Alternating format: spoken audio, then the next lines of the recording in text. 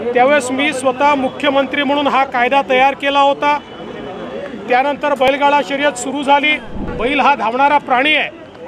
आणि हा अहवाल आपण सर्वोच्च न्यायालयामध्ये मी मुख्यमंत्री असताना त्या ठिकाणी हा अहवाल तयार केला.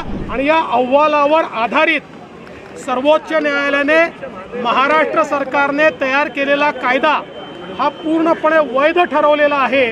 त्यामुळे आता बैलगाडा शर्यत ही पूर्णपणे चालणार आहे. आनंद आहे. बैलगाडा शर्यतीच्या संदर्भात महाराष्ट्र सरकारने केलेला कायदा हा सर्वोच्च न्यायालयाने वैध ठरवलेला आहे.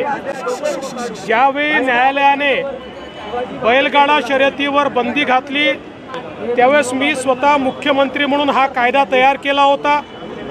त्यानंतर बैलगाडा शर्यत सुरू झाली. पुन्हा काही ॲक्टिव्हिस्ट सर्वोच्च न्यायालयात गेले. आणि त्यांनी त्या ठिकाणी असं सांगितलं की बैल हा धावणारा प्राणी नाही आणि त्यामुळे हा कायदा अवैध आहे. आणि त्याच्यावर स्थगिती आली. लगेच बैल हा धावणारा प्राणी आहे. हे साबूत करण्याकरता त्या ठिकाणी आपण एक सायंटिफिक कमिटी तयार केली. त्या कमिटीने रनिंग ॲबिलिटी ऑफ बुल असा एक अहवाल तयार केला. बुल म्हणजे बैल हा धावणारा प्राणी आहे. आणि हा अहवाल आपण सर्वोच्च न्यायालयामध्ये मी मुख्यमंत्री असताना त्या ठिकाणी हा अहवाल तयार केला आणि आपण तो सर्वोच्च न्यायालयात सादर केला. आत्ता ज्यावेळेस पुन्हा आपलं सरकार आलं त्यावेळेस फायनल हिअरिंगच्या वेळी देशाचे सॉलिसिटर जनरल श्री तुषार मेहता यांना महाराष्ट्र सरकारच्या वतीनं मुख्यमंत्र्यांनी आणि मी विनंती केली आपल्या वतीनं ते त्या ठिकाणी उभे राहिले आणि आपला हा जो अहवाल होता हा अहवाल त्यांनी त्या ठिकाणी सादर केला आणि या अहवालावर आधारित सर्वोच्च न्यायालयाने महाराष्ट्र सरकारने तयार केलेला कायदा हा पूर्णपणे वैध ठरवलेला आहे.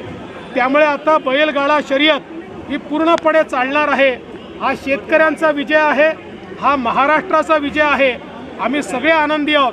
आणि मला विशेष उल्लेख केला पाहिजे की या सगळ्या कारवाईच्या दरम्यान विशेषतः महेशदादा लांडगे असतील गोपीचंद पडळकर असतील बाळा भेगडे असतील किंवा राहुल कुल असतील यांनी प्रचंडाचा पाठपुरावा केला. आणि महेशदादा लांडगे तर पूर्ण वेळ आमचे प्रतिनिधी म्हणून दिल्लीला सुप्रीम कोर्टात हजर होते. एवढंच नाही तर विशेष वकील देखील त्या ठिकाणी सरकारच्या याचिकेला किंवा सरकारला मदत करण्याकरता त्यांनी त्या ठिकाणी इंटरव्हिनर म्हणून लावले होते. मी एवढंच सांगेन हा महाराष्ट्राचा विजय अनेक लोकांनी याच्यामध्ये आम्हाला मदत केली आहे. त्या सगळ्यांचे मी आभार मानतो.